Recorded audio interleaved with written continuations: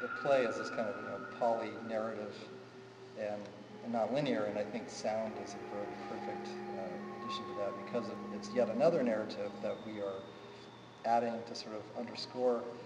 And, and it, what's interesting about the play, I think, is that the, the various narratives are, are, not synchronous, obviously, and even I think the sound will have its it, will have a slightly own trajectory that parallels and maybe deviates in some ways from the general structure of the play.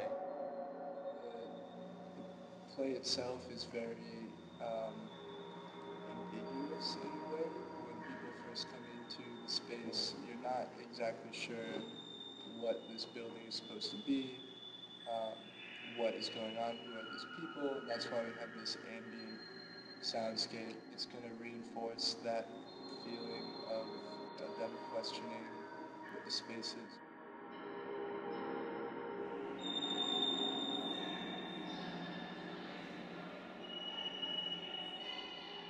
Yeah, I would say one of the interesting things has been the challenge of setting up a sound infrastructure in a space that has no infrastructure.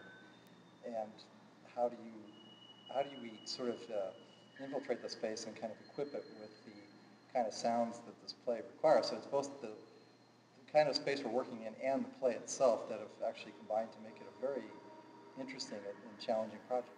You want to come with me? We're going this way. They're not going to fuck with me. Come this way. I know a little path. Let's go, let's go. We actually have sort of this, arrived at this idea that there will be a kind of an ambient sound world that that the viewers, participants kind of inhabit as they walk through the space. And that's to set the general tone and then there are kind of specific sound worlds in each of the uh, rooms for the scenes. And that's the part that's been pretty challenging is how to do that. And we kind of, now we've arrived at a kind of a wireless solution that we're going to be prototyping.